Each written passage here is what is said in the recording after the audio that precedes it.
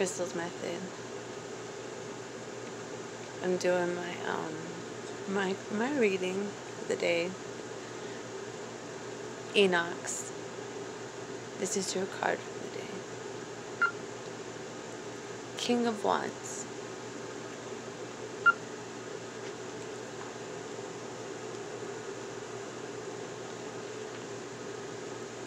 Passionate, authentic leader, characteristic, or I'm sorry, charismatic, charismatic, experience, energetic, influential, proud, sexual.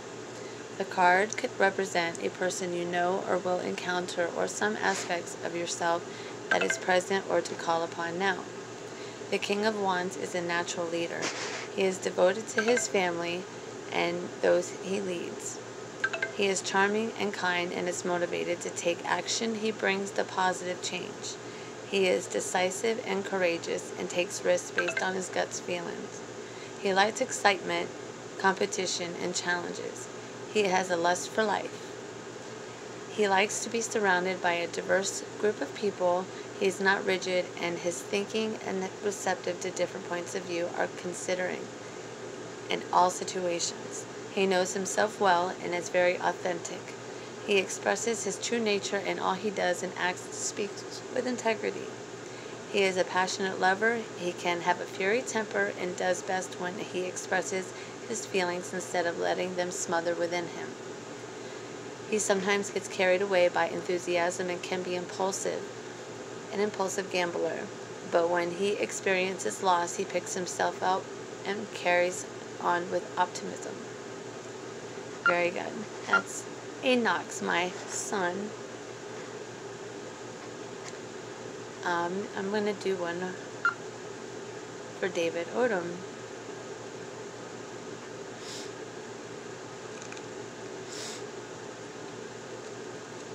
Krystle's Method. David, you got the Ten of Cups. Mr. Odom. Happy home, blessings, peace, family. The Ten of Cups is a card of despiting a grateful and joyous family. When it shows up, you have enough happiness to share with those around you. Emotional connections and home life are blessed. Take this time to be grateful for the love and happiness that you have in your life. The card could be warning you that your ideas about relationships are based on a fairy tale ending. Instead of bemoaning that you'll have the happily ever after, take some time and focus on what you do have. Hmm. Okay. Krystle's method. And this one I'm going to do for Shaw. Shaw Ammerman. This is Tuesday, May like 18th, I believe. Shaw. We have the moon. Go figure. The unconscious, the shadow self, confusion, dreams, intuition. The moon is the card of darkness, illusion of the unconsciousness. Now it's time to pay attention to your intuition and dreams. What do your deepest feelings tell you about your current situation? What are you most afraid of right now? Sometimes the most profound growth is found in facing your deepest fears. You may be hiding something from others or yourself. Someone may be hiding something from you, contributing to the confusion and fear that you're feeling. The moon advises us to go within our within to seek better understanding before taking action. It may be wise to keep some things hidden from now. The card could also represent natural cycles such as cycles of the moon, and changing of the seasons.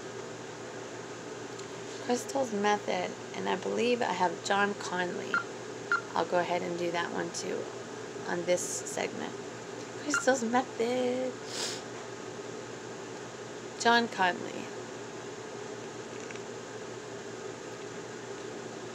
Last but not least today, you got Ace of Pentacles.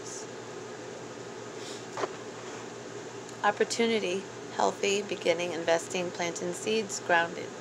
The card represents an opportunity for real concrete growth. It may be a beginning of a new project or a chance to improve your health. A gift that you can use to further gain money that you can invest in the future. A new job opportunity or a chance for a promotion or even a good time to start a garden or begin improving your home.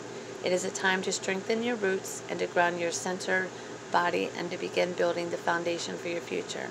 The card may be telling you to spend time in nature and you'll find fresh inspiration there. Again, I can go more in depth.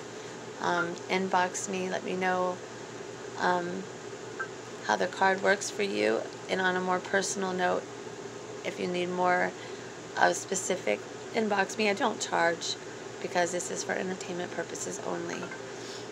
Krystle's Method. And have a blessed day. I hope you're in good health and spirits.